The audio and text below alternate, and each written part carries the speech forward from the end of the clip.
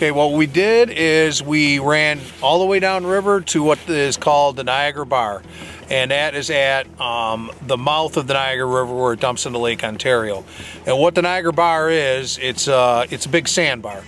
Um, where the current comes out of the river where it first comes out. Um, it drops off to 70 feet, and then as you progress up onto the bar, uh, you come up a big ledge, and it comes up to uh, the top of the sandbar, which is about approximately 25 feet deep on top of what we call the flat. All right, got a first fish on. Feels like a decent one. Got a number 10 hook on there, same thing, real light rig. What do you think it is? I'm thinking it's a lake trout. I mean, I'd love it to be a big giant brown trout, but. Have you seen it, John?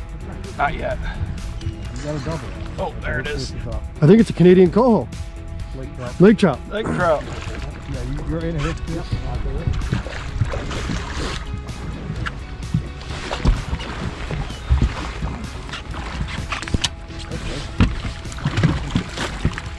Oh yeah. It's a way to start it off. Go, way to start it. All right, got a nice laker here in the first drift of the morning on the fire dye minnow. Took it probably within two minutes. We're gonna get them back. Oh, this is gonna be an awesome day. These were dipped fresh yesterday. They're a combination of emerald shiners and spot tail shiners. And uh, right now the river's loaded with minnows. So what we're gonna do is we're gonna try to tilt the scales in our favor. Gonna dye them up with some chartreuse fire dye and uh, it should be the ticket for catching those trout out on the bar. It's real simple what we're doing here. We're taking one bottle of the chartreuse fire dye and we're going to put it into a container. To that we're going to add three bottles of the river water. Now normally when you do this you have to have an aerator because you're putting a dozen or so minnows into a container, that's three bottles, into a container with not a lot of water. But in this case, our water's in the 30s right now, so we don't need the aerator.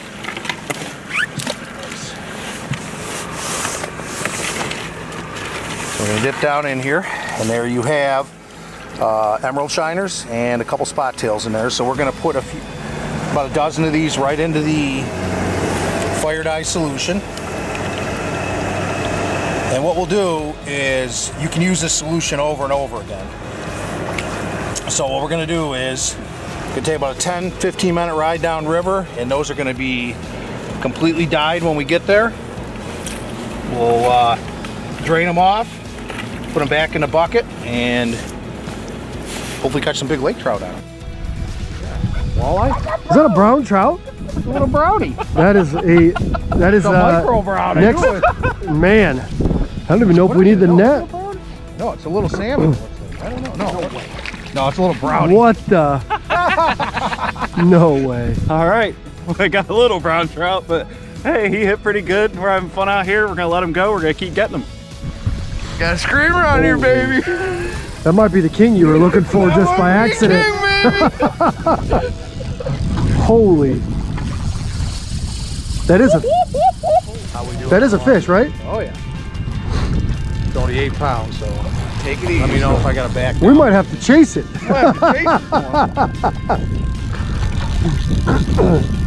Are you going to make a call what it is? I don't think it's a lake. You don't think it's a lake? I don't think it's a lake. If it is, it's off a fight. Oh, oh, oh, we're out of line, Ted. We're out of line. We're out of line. We got to chase it.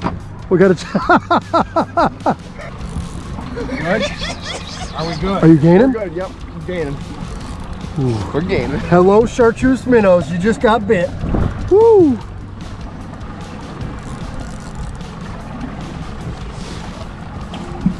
So we're, we're out here on the Niagara Bar today and uh, we, we booked a steelhead trip with Ted but I said hey the winds are good let's get out on the bar uh, we always wanted to do this but the weather for literally almost 15 years now has never cooperated with us so we're hoping Kyle has got a special Niagara Bar fish Taking up Back some line. down. It's like like a marlin fish. what, what, what do you think it is Um, uh, I'm looking.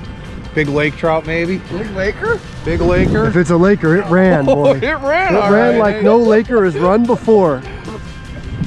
Most people say lake trout don't fight at all, but out here on the bar with light tackle like this, it's a blast. Uh, like I've told you, I have my clients that come specifically to catch these because they fight so hard. Yeah, we might get to see him. Oh, we got him. We got him. That is a big lake trout right there. Out here with Captain Ted Kessler today, fishing the Niagara Bar. Got a beautiful lake trout. Gave me one heck of a fight. Uh, peeling line, great fight. Chartreuse fire dye minnow. We're gonna get him going back in the water and catch a couple more out here today. Okay, so here is the basic rig that we are using on the Niagara Bar. Um, well, we'll start out with the reel. We're using uh, what we call medium-sized spinning reel on the rod, uh, medium seven to seven and a half foot with a fast tip. On the reel, I myself prefer a braided line. Um, this is 10 pound NanoFil. Then we go down to the business end here line out. And we are tying to uh, a T swivel or a three way swivel. This tends to be a T swivel. Um, that's going to your braid. Uh, as far as a weight, we're dropping about six, eight inches of 10 pound monofilament to a pencil lead. Uh, I tend to like using about an ounce to an ounce and a quarter, depending on how uh, how rough it is out on the bar or how much current is flowing that day. And then, because our water is generally very clear here, I run a approximately a six foot fluorocarbon leader down to a number eight, either octopu- octopus style or sickle style hook. And again, real simple rig. You can use it for everything in the Western New York region. Works really, really well for fishing those fire dye minnows that we were using today. Since you are in the open waters of Lake Ontario, you have to have the correct wind. Um, basically, a nice light south breeze blowing offshore it keeps it nice and calm. Um, anything hard out of the east or west will make it really rough and unfishable out there. Um, what we primarily targeted out there today was lake trout, which are in season right now. Um, and basically, what those fish are doing is they're staging in there um, and feeding on the bait fish that are there, which are alewives, smelt, and emerald shiners. Those are the primary bait fish that are in there.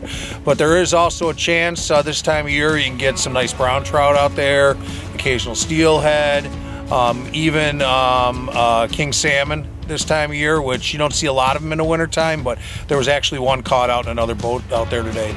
All right, so you guys are seeing exactly what we've done today. These are chartreuse fire dye minnows. And if you listen to Ted and you do the exact same thing he did and follow the instructions on the bottle, they're gonna look like that every single time. Now, what we've done here is we've taken one out of that, we put them in here, so you can see the difference between a chartreuse one and a regular one.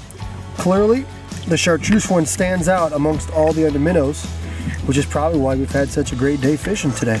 Well, we got one on here again, another fire dye.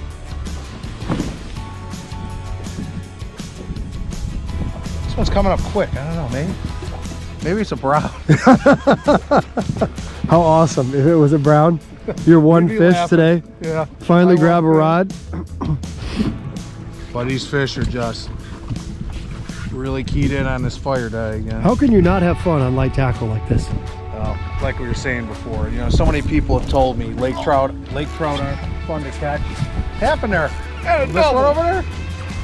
They say lake trout aren't fun to catch. Well, you come and you fish them in 34 degree water on a light spinning, a light spinning rod, 10 pound test, and they just battle something unbelievable. Oh, it's getting close. Yep, another lake trout. Another lake trout. Head first, John. There you go. Nice job, John. Well, here we are. Another, what we'd say average Lake Ontario Niagara Bar lake trout. I finally got to reel one in. Today's episode of Pautzke Outdoors comes to you from the beautiful Niagara Bar. Well, to be honest with you, in almost 15 years of coming to film Pautzke Outdoors here in Western New York, we've never had a chance to come out to the bar before. You know, we got close to the bar once. Uh, however, the wind picked up and we just weren't able to get out there. Somehow the weather lined up for us this time, and boy, were we happy it did. We went out there today with Ted Kessler of Rivermaster Charters. He's been one of our pro staffers for over a decade. You know, we've had a great time going out and fishing with him on the lower Niagara River many, many, many times. This was the first time we've ever made it out on the Niagara Bar. Sure enough, it was a treat. Now remember, this is wintertime. There's different species on the bar throughout the year. We started in Lewiston, New York, basically flew all the way downriver, and we went right past the fort, right past the Coast Guard station, in the middle of, oh, there were probably a dozen boats out there with us today. And boy, did we have a great time. Now, we only used one bait today. Uh, we used live chartreuse fire dye minnows. You guys saw exactly what Ted did. Follow those instructions, it'll work every time. Those of you that just poured in a five gallon bucket, you're gonna dilute the solution, it's not gonna work. Now, almost every fish today was a lake trout and we didn't catch any small ones. They were all beautiful lake trout. We did catch one small brown trout. Other than that, it was a lake trout fest. We came out here and caught one on almost every single drift. It was a great time to be here in the greater Niagara Falls area. We were joined by Canadians on one side, Americans where we were. Everybody was having a good time smiling and catching trout. We'll be back again, and hopefully next time there'll be other species on the bar. But boy, are we excited we got to experience it this time.